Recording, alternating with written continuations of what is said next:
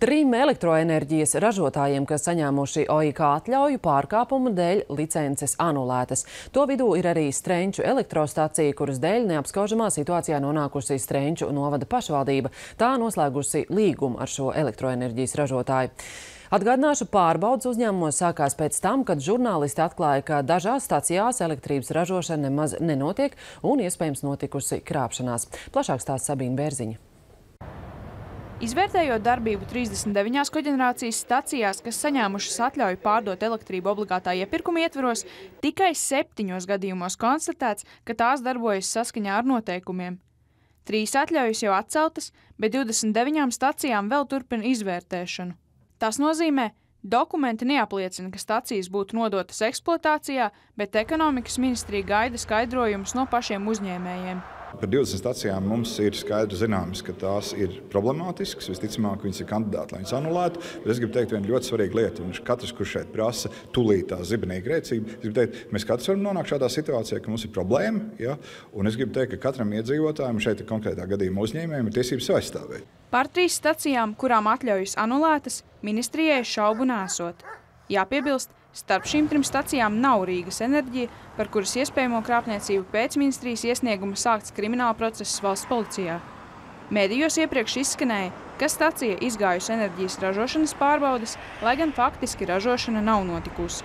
Mēs uh, esam pieprasījuši paskaidrojumus no Rīgas būvvaldes. Tieši tā mēs esam pieprasījuši arī paskaidrojumus no, no komersanta.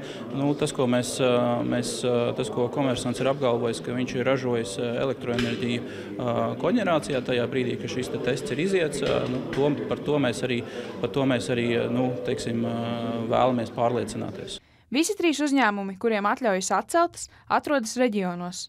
Energofortis Līvānu novadā, Elektrorīdzene Cēsu un Ēstrenči Strenču novadā. Strenčos atļaujas atcelšana radījusi vilšanos. Pašvaldība ar uzņēmumu jau bija noslēgusi līgumu, cerot samazināt izmaksas. Šobrīd siltumu pilsētā nodrošina no divām katlu mājām, kas tik mazā pilsētā esot neizdevīgi ienākot šim uzņēmējam, viņš spēja mūs saliedēt, apvienot ideiski un, un, un nodrošināt pakalpojumu no vienas vietas, kas, kas ir loģiski priekš šīs vietas. Un tas ir tas pirmais iegūms. Un otrais jau es teicu, ekonomiski un tā tālāk un tā tālāk. Perspektīvā darba vietas un, un rūpnīcas. Uzņēmums cer panākt kompromisu ar ministriju un licenci atgūt. Tāpat lēmumam nepiekrīt arī Energofortis Līvānos. Viņi esot ražojuši enerģiju koģenerācijā. Konsultējamies ar, ar, ar juristiem un attiecīgi no tā arī būs secinājums un pieļauju, ka noteikti būs tiesvedība. Pierādīsim savu taisnību, jo mums ir visa dokumentācija uz rokas, ka mēs esam to darījuši. Ekonomikas ministrija rēķinās ar iespējamiem tiesu darbiem. Izmeklēšanu plāno turpināt, izvērtējot arī ministrijas amatpersonu atbildību. Sabīna Bērziņa, Ivo Žipickis, Latvijas televīzija.